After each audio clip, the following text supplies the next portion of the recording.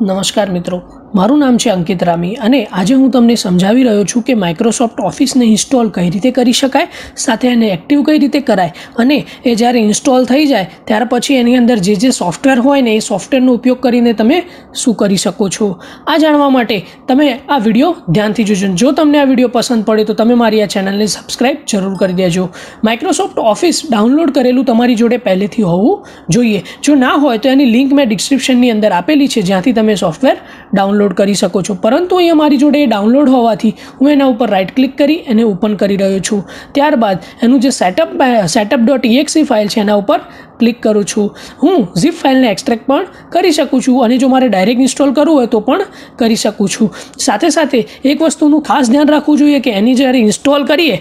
ત્યારે એની અંદર જે આપણી સિરિયલ નંબર અથવા સિરિયલ કી હોય એ તમારી જોડે હોવું જ જોઈએ ઉદાહરણ તરીકે મેં સેટઅપને જ્યારે સ્ટાર્ટ કર્યું ત્યારે એની જે પ્રોસેસ થઈ ત્યારબાદ સેટઅપ સ્ટાર્ટ થઈ ગયું સેટઅપ સ્ટાર્ટ થઈ ગયા પછી તરત જ એને ઇન્સ્ટોલેશનની પ્રોસેસ નેક્સ્ટ કરવા માટે એ મારી જોડે એક પ્રોડક્ટની કી માગશે જે પ્રોડક્ટ કી ઓલરેડી આ ઝીપ ફાઇલની અંદર આપેલી છે જ્યારે હું એ ઝીપ ફાઇલને ઓપન કરું છું તેની અંદર એક નોટપેડ ફાઇલ છે એની અંદર જે કી છે એને હું કીબોર્ડથી કોપી કરું છું અને ત્યારબાદ જે મારું આ ઇન્સ્ટોલેશન પાથ છે ત્યાં હું એને પેસ્ટ કરું છું હા આ વખતે તમારે ખાસ ધ્યાન રાખવું કે જ્યારે આને ઇન્સ્ટોલ કરો ત્યારે ઇન્ટરનેટ બંધ હોવું જોઈએ સાથે સાથે ઇન્સ્ટોલેશન ટાઈમે તમે જો ઝીપ ફાઇલથી કર્યું હોય તો એને ક્લોઝ કરવાની નથી જો ગ્રીન ટીક આવી જાય એનો મતલબ કે તમે સાચી પ્રોસેસ કરી રહ્યા છો હવે અહીંયા તમે કસ્ટમાઇઝ બી ઇન્સ્ટોલ કરી શકો છો અને જો ઇન્સ્ટોલ ડિફોલ્ટ સેટિંગ કરવા હોય તો પણ કરી શકો છો કસ્ટમાઇઝેશનનો મતલબ છે કે આની અંદર જેટલા બી ભાગ છે ઉદાહરણ તરીકે વર્ડ પાવર પોઈન્ટ એક્સેલ એમાંથી તમારે કયો ભાગ ઇન્સ્ટોલ કરવો છે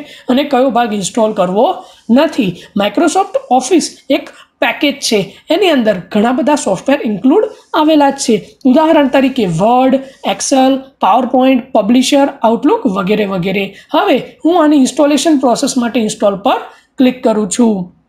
જો તમારા કોમ્પ્યુટરની અંદર તમારે જો કોઈ બીજું માઇક્રોસોફ્ટ ઓફિસ નાખવું હોય તો પણ એની જે મેથડ છે એ આવી જ રીતે રહેશે એની અંદર ઘણા બધા મોસ્ટ ઓફ ચેન્જીસ આવતા નથી તમે જોઈ શકો છો મારી સિસ્ટમની અંદર જે ઇન્સ્ટોલેશન પ્રોસેસ છે એ થઈ રહી છે સાથે સાથે તમે અહીંયા પણ ઓલ પ્રોગ્રામની અંદર જોશો અત્યારે કોઈ મેનુ અથવા કોઈ ઓપ્શન આપેલો નથી પણ જ્યારે ઇન્સ્ટોલ થઈ જશે ત્યારે માઇક્રોસોફ્ટ ઓફિસની અંદર એક પૂરું પેકેજ હશે અને ત્યાં તમે ત્યાં શો થશે હાલ જો અમારી કોમ્પ્યુટરની સ્ક્રીન ઉપર એ પ્રોસેસ ડન થઈ જઈ છે. હું એને ક્લોઝ કરી રહ્યો છું. હવે હું સ્ટાર્ટ મેનુ ઉપર ક્લિક કરી રહ્યો છું. સ્ટાર્ટ મેનુની અંદર ઓલ પ્રોગ્રામ ઉપર જઈ રહ્યો છું. તમે અહીંયા જોઈ શકો છો માઇક્રોસોફ્ટ ઓફિસ કરીને પૂરેપૂરું ફોલ્ડર આવી ચૂક્યું છે. એ ફોલ્ડરની અંદર ઘણા બધા સોફ્ટવેર ઇન્ક્લુડ છે.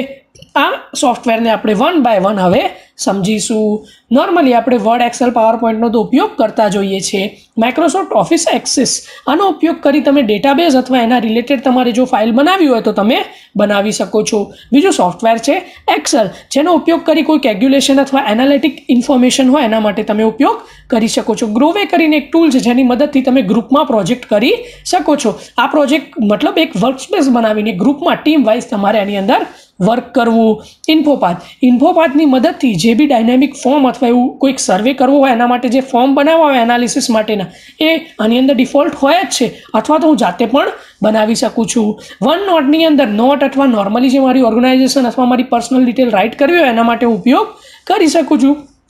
સાથે જ અહીંયા આપેલું છે આઉટલુક આઉટલુકનો ઉપયોગ કરીને હું મેલ અથવા ટાઈમ કેલ્ક્યુલેશન અથવા કેલેન્ડર અથવા એના રિલેટેડ જે બી મારે ઓફિશિયલ ડેટા યુઝ કરવો હોય હું કરી શકું છું પછી આવે છે પાવર પોઈન્ટ જેની અંદર હું પ્રેઝન્ટેશન બનાવી શકું છું પ્રેઝન્ટેશન એટલે કોઈ મિટિંગ માટે અથવા તો મારા સ્કૂલ અથવા કોલેજના પ્રોજેક્ટ માટે જે બી ફાઇલ બનાવી હોય હું બનાવી શકું છું પબ્લિશર પબ્લિશરનો મતલબ કે મારે ઘરેથી જ કોઈ વિઝિટિંગ કાર્ડ બ્રોશર બેનર અથવા ફ્લાયર નોર્મલી બનાવવું હોય સર્ટિફિકેટ તો બનાવી શકું એના પછી આવે છે વર્ડ જેનો ઉપયોગ કરી હું લેટર ડોક્યુમેન્ટેશન વગેરે ફાઇલ ફાઇલ બનાવી શકું છું અહીંયા તમે એક ફોલ્ડર જોઈ શકો છો માઇક્રોસોફ્ટ ઓફિસ ટૂલ એક છે ડિજિટલ સર્ટિફિકેટ અને વિઝ્યુઅલ બેઝ પ્રોજેક્ટ મેનેજ કરવા માટે બીજું છે